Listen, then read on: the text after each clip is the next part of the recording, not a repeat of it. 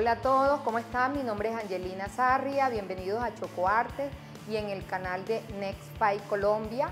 Eh, a continuación vamos a hablar sobre el chocolate y el cacao. Soy profesora de bombonería fina, aproximadamente cinco años.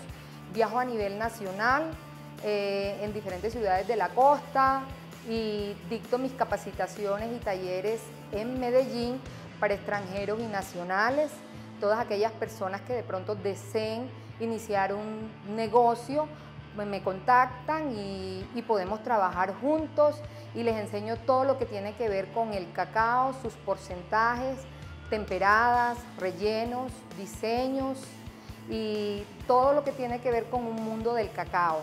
A continuación vamos a darles un abreboca de lo que tiene que ver el taller de chocoarte.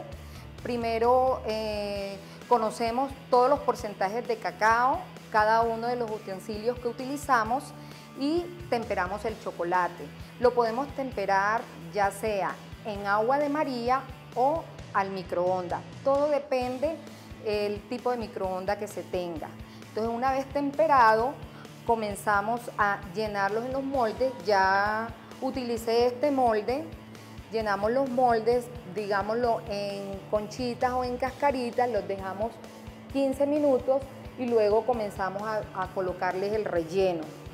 Esto para cuando los queremos un chocolate natural. Cuando queremos un chocolate pintado, chocolate artístico, eh, tenemos diferentes tipos de pintura y ahí comenzamos ya a crear nuestros colores y diseños en el chocolate. Eh, una vez ya el proceso de relleno y tapado lo llevamos al refrigerador, es muy importante el refrigerador más que eh, la nevera como tal, es refrigerar 15 minutos y lo sacamos y ya tenemos este resultado de chocolates, que es un chocolate artístico en chocoarte.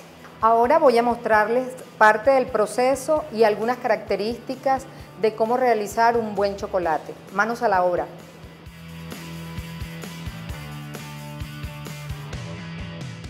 Pau, el chocolate tiene una curva de trabajo. Tenemos que subirlo inicialmente, que es el proceso un poquitico más largo, y luego lo bajamos para trabajar. Eh, una vez, una vez está, que esté en su porcentaje indicado, en, su, en sus grados indicados, procedemos a llevarlo a los moldes. Y algo, una parte que de pronto muchas personas no conocen y es que el chocolate tiene muchas propiedades. Tan importante es el chocolate que ni siquiera las, su conchita, su cascarita no se bota. Se vende como aromática y sirve para los triglicéridos, para em, eh, la presión alta y otro tipo de, problemas que a veces con la edad o con el tiempo eh, nos generan y es muy bueno. Aparte de eso, el chocolate lo utilizan, ustedes conocen que lo utilizan para chocolaterapia, eh, masajes faciales, eh, también eh, en sus diferentes porcentajes, dependiendo el gusto de las personas, tú escoges el porcentaje que quieres consumir.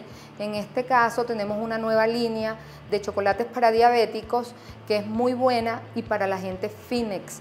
O sea, no hay excusa para no consumir chocolate. El chocolate, el buen chocolate que se hace del cacao no engorda. Si te gusta el mundo del cacao y quieres conocer más sobre el chocolate, no olvides suscribirte al link de la parte de abajo donde puedes conocer mis talleres y puedes solicitar los pedidos de chocolate. Hasta la próxima y que viva el chocolate.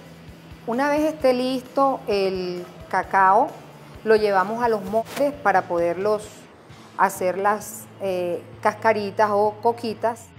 Este es un chocolate del 58%, pero sin azúcar, especialmente para las personas diabéticas.